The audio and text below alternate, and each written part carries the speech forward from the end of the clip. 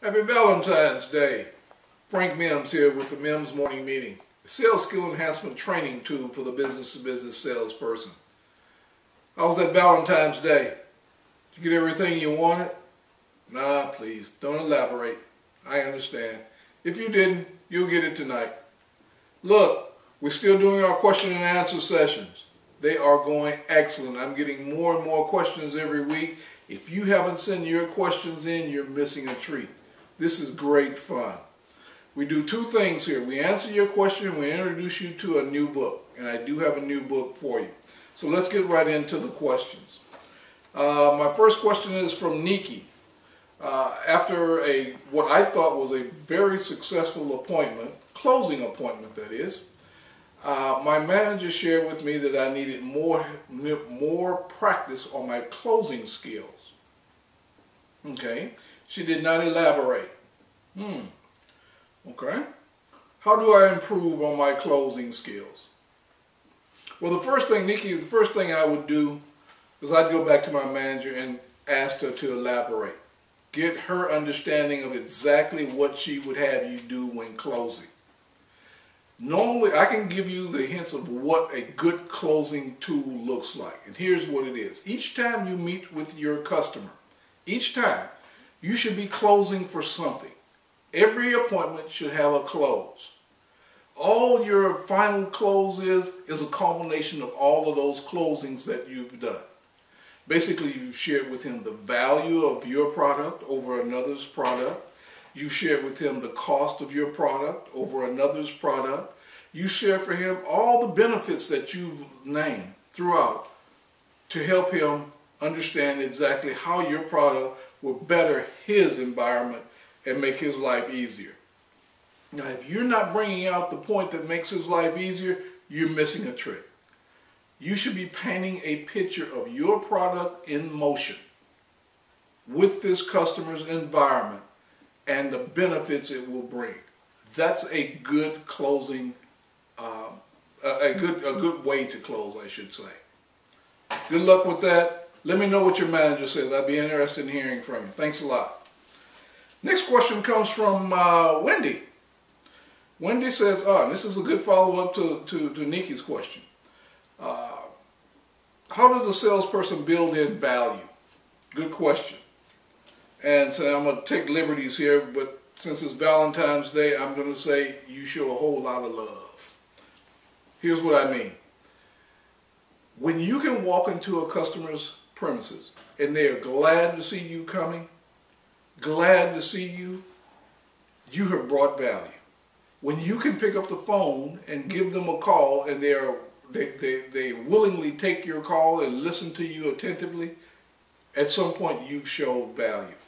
You've shown that customer how your product or service will benefit, will benefit them throughout the throughout their, their, their life cycle there. The value that you bring. Anything that shows value makes it easier on the next person. Doesn't make it more complicated, makes it a lot easier. Makes his life easier. Makes his customers, customers, customers' lives easier. That's what you want to shoot for. So every time you visit with them, every time, bring value. Don't sell, bring value. The value will get you to close every time. Good question. Next, next question is uh, here on the laptop. Let me pull it up here. Ah, it's from Leak. I think that's the way it's pronounced. I hate cold calling. And before you throw rocks at him, everyone has been in this exact same situation. Everyone. I hate cold calling. Networking is a better way for me to get leads and information. True. Maybe. Let's find out. My company has a policy slash rule that we cold call at least two hours each day. Why? How do I get over my fear of cold calling? Good question. Because we've all had it. And we've all done special things to make us get over the fear of it. But here, here's, here's three things you can do. The first thing, I want you to start this this morning. Make some cold calls. The more you do something, the easier it becomes. The words get more comfortable. The words flow out of your mouth easier. People start to believe what you're saying because now you're believing. You're putting the words in the right context. You know exactly what to fit them in. So the more you do it, the easier it will become. That's the first thing. Secondly, make a warm call, then a cold call. Make a warm call, then a cold call. Make a warm call, then a cold call. I know it sounds redundant, but watch this. When you make a warm call, it sets you up for the cold call. When you make a cold call, it actually sets you up for the warm call. Call someone you know. Call a good customer that, that, that you know loves to hear from you. Call a good friend. Call your wife. Call your sister. Call your brother that you haven't talked to in quite some time. And tell them what you're doing. Look, I'm getting ready to make some cold calls. Just walk, just walk me through it. I'm just warming up my voice. People will work with you. Get the people in the office to do it with you. Talk to the other people in the office. Find out what they do about cold calling. The last thing I want you to do is make sure you've got a list of cold call people that you're going to cold call. Make sure that you've got three reasons to call each one of those people. If you have XYZ company, make sure you have three reasons in your repertoire that you want to call those, that, that, that you need to talk to those people. It will make your call go easier. It will make your call go a lot smoother. It will make it a lot friendly. And you'll get a lot more appointments by that. I'm almost sure that's what you're trying to do. Look, keep those calls and uh, those emails coming. They've been great.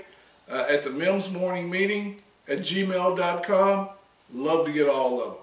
And please give me some feedback and let me know how I'm doing too. I can be graded also. As I told you, we get right into our book. Uh, I've chosen a book that was given to me by uh, at um, a presentation that I made at a high school. They gave me this book as a, as a memento or, or a keepsake. But this is a very good book. And when the minute I say John C., you're going to know who I'm talking about, most of you. This is by John C. Maxwell. This is his book on self-improvement. 101 Ways, Self-Improvement. Very good book. If you are a leader, you need to have this book in your pocket at all times. If you are a salesperson, you need to, you need to have this because you are a leader. You cannot lead that company to buy from you unless you know the tips in this book. Read it. Pick up a Mims morning meeting also. Get John C.'s book. Get the Mims morning meeting. Thanks a lot. This has been Frank Mims. We talk at you later.